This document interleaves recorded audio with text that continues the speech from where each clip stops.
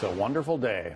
For more, let's bring in David Drucker. He is the senior correspondent for the Washington Examiner. Are you as surprised as most everybody else seems to be in Washington, David? Well, I think I'm surprised that it happened this morning, but I'm not actually surprised that he ended up going out before the end of this Congress. This was the first time over the past few months that I thought that the Speaker's uh, gavel could be in jeopardy or that he might just decide to pack it in and go enjoy his life, just given everything he's been dealing with. There was a, a revolt underway within his party. 30 of the more conservative, in rough numbers, 30 of the more conservative Republicans had suggested that they were not going to uh, uh, continue to, to, to labor under his speakership. Right. So I think there's something to understand here, John, that's important. It, the the number of members that were supremely unhappy with Boehner's leadership were a minority of the majority, and a pretty distinct minority, although they get a lot of attention because they're very vocal. And so I don't think it was them alone that forced him out or could have forced him out. I think what you're seeing here is the fact that there was a lot of restlessness throughout the conference. I mean, number one, Boehner has been the leader of House Republicans since 2007.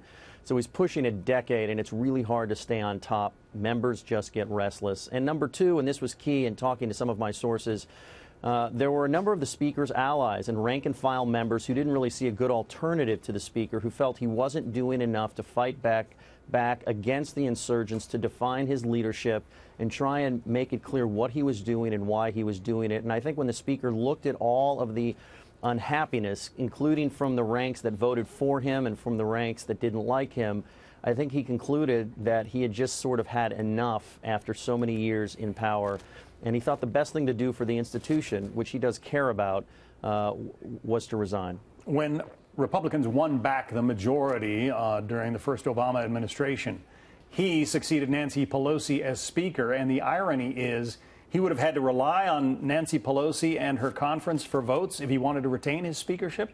Well, it's possible. But what I really think happened here is that Boehner, after all of the fights he's had to go through, uh, some deserved, some not, ne not necessarily deserved.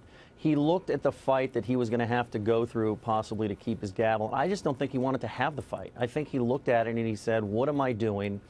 Um, I've been on top for a long time. I've been in Congress for a long time.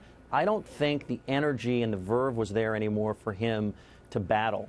And I think that's one of the reasons he decided to go out. And I think he also concluded in talking to some of his aides that he didn't think it would be good for House Republicans to get embroiled in this kind of a fight. It wouldn't do them any good. It wouldn't help the House. And, and therefore, I just think he decided it wasn't for him anymore. Well, it was a stunning development for a Friday morning. Uh, David Drucker. Clearly. David Drucker, thanks for sharing your insights with us.